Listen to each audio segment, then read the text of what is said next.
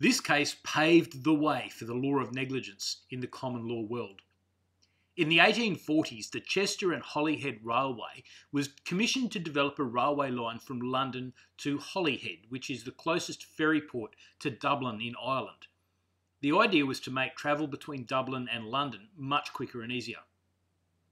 As part of this development, in 1846, a rail bridge was built over the River Dee, just near the city of Chester. In 1847, though, as a train was passing over it, the bridge failed and the train was lost. Five people were killed. The plaintiff, Grote, according to the case report, was greatly cut, wounded, and bruised. He sued for damages in what was called an action on the case. This was a type of catch all tort where a party was suing for something which wasn't quite an assault or a trespass and which wasn't quite a breach of contract, and yet which still seemed like the sort of wrong conduct which should result in compensation.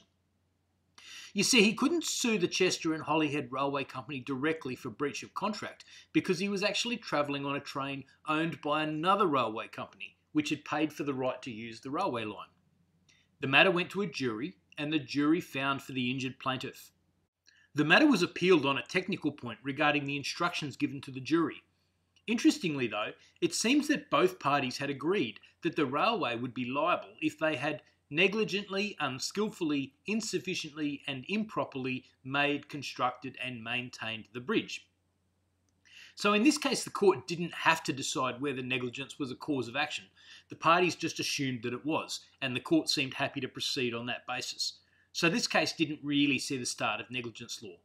However, it was cited in Donoghue and Stevenson as a precedent which showed that negligence could form a cause of action under the common law.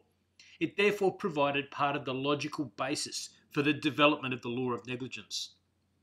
This case is also notable because much of the case note is one monstrously long sentence, over 700 words long. I don't know whether to be impressed or appalled.